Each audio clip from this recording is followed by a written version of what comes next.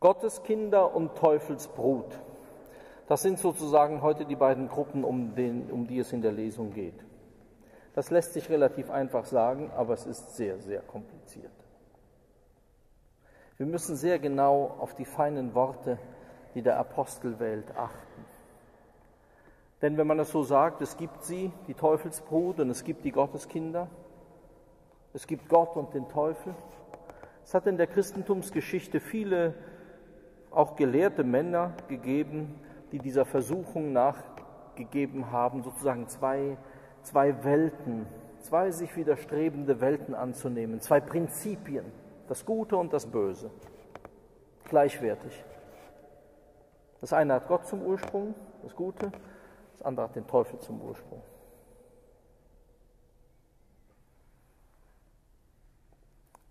Wir wissen schon aus dem Weihnachtsevangelium am Beginn, dem Prolog, den wir jetzt mehrfach gehört haben, wie sorgfältig der Apostel seine Worte wählt.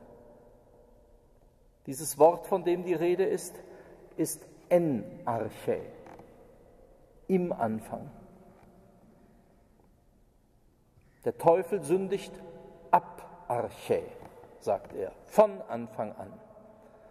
Und der Apostel mag an diese sehr Weisheit getränkte Geschichte im Paradies denken. Die Verführung der Ureltern. Das Böse, das sich im Menschen Bahn bricht beim Brudermord an Abel durch Kain. Und von dieser Stunde an immer wieder neu, eigentlich in jeder Sekunde.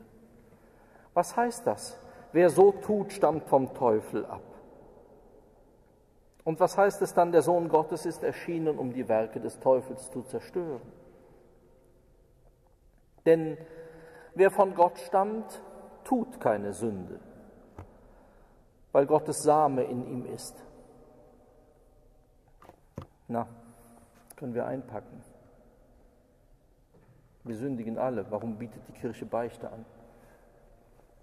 Wie ist das? Also ist Gottes Same nicht in uns, nicht wirksam.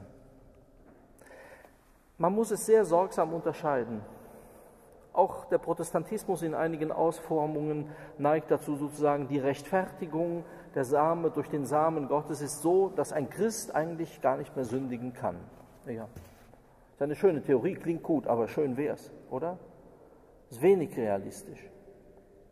Die Welt ist leider voll von sündigen Christen und wir gehören dazu.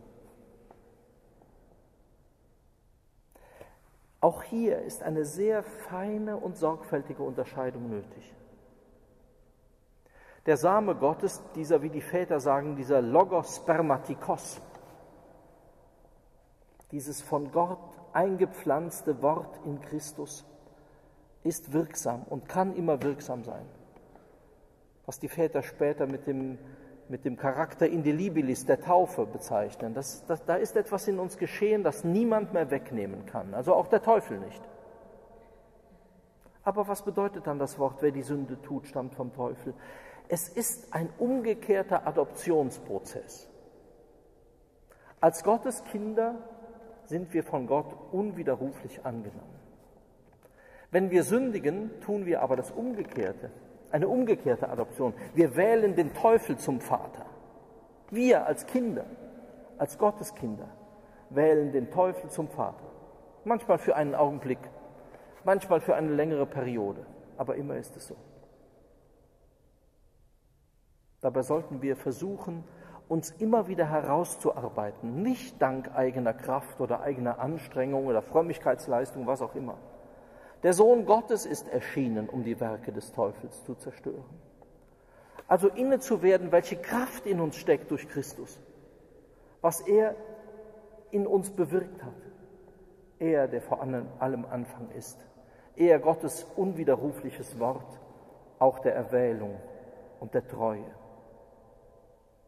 Und das führt dann erneut hin zur Bruderliebe. Wenn wir diesen falschen Vater, den Vater der Sünde, wie Johannes ihn einmal nennt, im Johannes, äh, wie Jesus ihn einmal im Johannesevangelium nennt, wenn wir den hinter uns lassen, wenn wir ihn verachten lernen, missachten lernen, er hat keine Bedeutung. Er ist ein Nichts. Je mehr wir das verstehen, sind wir wahre Gotteskinder.